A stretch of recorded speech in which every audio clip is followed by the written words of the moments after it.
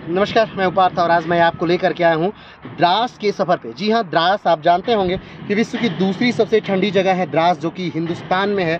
और इसकी दूरी को अगर हम बात करें, कहाँ से जाया जा सकता है तो द्रास जाया जा सकता है श्रीनगर से। श्रीनगर कैसे आए तो जम्मू तवी से आप आ सकते हैं, श्रीनगर या कटरा से आ सकते हैं आप श्रीनगर। और श्रीनगर से आप आइए सोनामर्ग। सोनमर्ग बेहतरीन घूमने की जगह, उसका आनंद लीजिए लुत्फ लीजिए, और उसके बाद आप आ जाइए द्रास, उसके बाद आप आ जाइए, घूमिए, और उसके बाद आ जाइए आप कारगिल। कारगिल बेहतरीन नज़ारा है कारगिल घूमिए, और उसके बाद आप आ जाइए लेह लेकिन जिनको भी सांस की प्रॉब्लम है, वो इस यात्रा पे न आए, क्योंकि ये यात्रा उतनी उनके लिए सुखद नहीं होगी।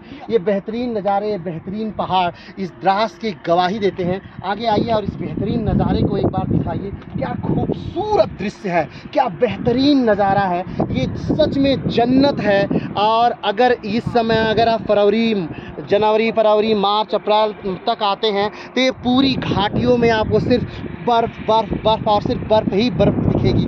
यहाँ पर पास में देखिए एक नदी बह रही है। उस नदी का नाम सिंध है। सिंध को सिंधु से कंफ्यूज मत करिएगा। सिंधु अलग नदी है और ये सिंध अलग नदी है ठीक है? तो ये सिंधु है ये सिंध है और ये जा कर के आगे एक नदी में मिल जाती है और वो नदी फिर जा कर के आगे सिंधु में मिल जाती है। तो ये सिंधु की सहायक है आ, लेकिन सतलज की सहायक है ये। सतलज फिर सिंधु की सहायक है। इससे दूसरी नदी से कंफ्यूज मत करिएगा। ये बेहतरीन नज़ारा बेहतरीन दृश्य का आनंद लीजिए। आज के लिए इतना ही। फिर मिलते हैं अगले वीडियो में।